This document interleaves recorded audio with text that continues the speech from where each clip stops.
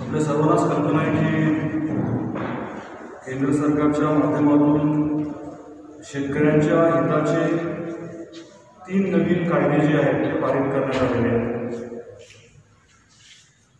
हे कायदे पारित झाल्यानंतर शेतकऱ्यांना मोठ्या प्रमाणामध्ये फायदा होईल. शेतकऱ्याचं उत्पादन वाढेल आणि उत्पन्न वाढेल. आजपर्यंत शेतकऱ्यांवरती जे विक्रीच्या बाबतीत बंधनं होती ती सर्व बंधनं जी आहेत ते दूर होतील. आणि शेतकऱ्याची पिळवणूक जी होत असते फसवणूक जी होत असते त्याला आळा घालता यावा अशा अनुषंगाने हे कायदे जे आहेत ते बनवण्यात आलेले आहेत. दिल्लीमध्ये आता जे शेतकऱ्यांचं आंदोलन चालू आहे त्याबद्दल आपल्या सर्वांनाच पूर्ण सहानुभूती आहे.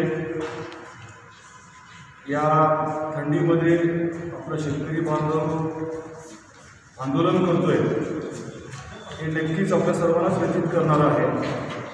परंतु केंद्र सरकार देखील त्यांच्याबरोबर चर्चा करण्यास तयार आहे.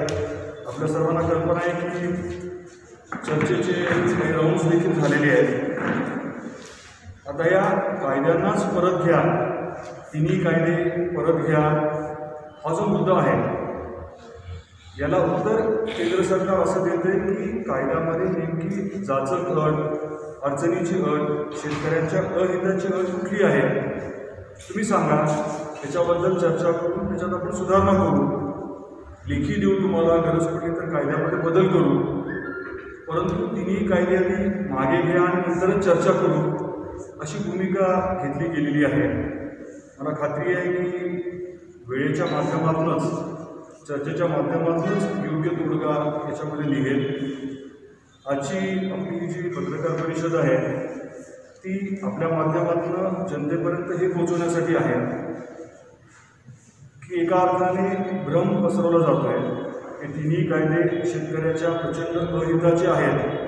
असं जे सांगितलं जात आहे हे खरं नाही आहे योग्य नाही आहे या उलट अगदी आपल्याला सविस्तर सांगायचं म्हटलं तर आपल्या देशामध्ये आपल्या राज्यामध्ये शेतकऱ्यांच्या बाबतीत आंदोलन करणारा शेतकऱ्यांच्या हितासाठी झगडणारा सगळ्यात मोठा नेता जर कोणी असेल तर ते स्वर्गीय आदरणीय शरद जोशी साहेब.